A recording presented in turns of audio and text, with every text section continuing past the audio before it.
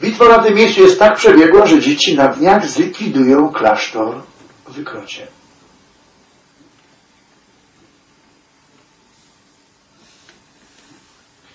Bo jest teraz reforma klasztorów kontemplacyjnych.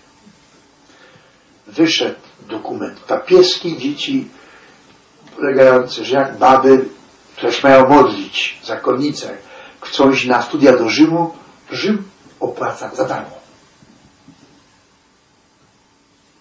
Za darmo mogą studiować.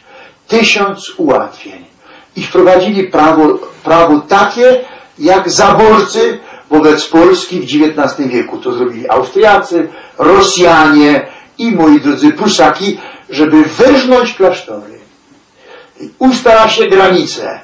Jeśli tam nie ma tylu zakonników, to trzeba łączyć klasztory.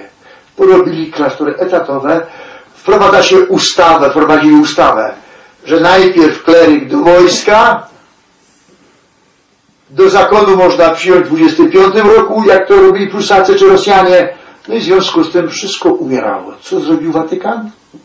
Jeśli jakiś dom zakonny nie ma sześciu sióstr i nie przybyła w ciągu, ma sześć sióstr, granica dolna, i w ciągu dziewięciu lat nie, nie ma żadnego powołania, muszą się przenieść do innego.